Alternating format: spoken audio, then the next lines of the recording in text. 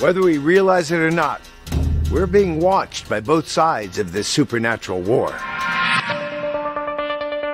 The authors of Scripture believed the gods of the nations were real. Who rules the nations now? The fallen sons of God. The unseen realm reminds us of the spiritual battle and conflict that we're involved in. From inner cities to rural areas to suburban areas, they're fallen beings unseen that are controlling those areas. There's an important subtext for what Jesus was doing. He was outwitting the evil one.